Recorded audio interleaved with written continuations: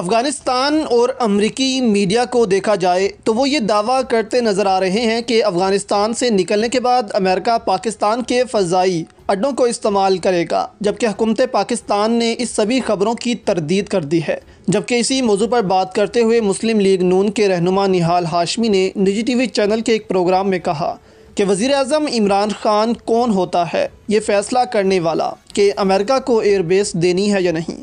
ये पाकिस्तान की खुद मुख्तारी का सवाल है और इसका फ़ैसला फ़र्द वाहिद करने का मिजाज नहीं। लिहाजा अमेरिका के साथ स्ट्रेटजिक पार्टनरशिप के तहत माहिदा करके हवाई अड्डे देने का फ़ैसला पार्लियामेंट का इख्तियार है और पाकिस्तान के पार्लियामेंट में अवाम के बैठे हुए नुमाइंदे ये फ़ैसला करेंगे कि अमेरिका को हवाई अड्डे देने का समझौता करना है या नहीं। जबकि इस किस्म की खबरों के हवाले से मुस्लिम लीग नून ने हकूमत से इस मामले की वजाहत तलब कर ली है।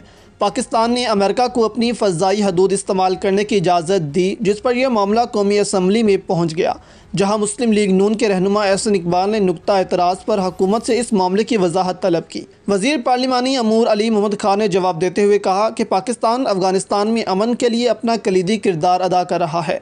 वज़ी अजम का वाजिया मौक़ है कि अफ़गानिस्तान का मसला अफ़गान कौम और अफ़गान रियासत को खुद हल करना है। जबकि पाकिस्तान ने अपनी कोई एयरबेस अमेरिका को फ्राहम नहीं की हैं।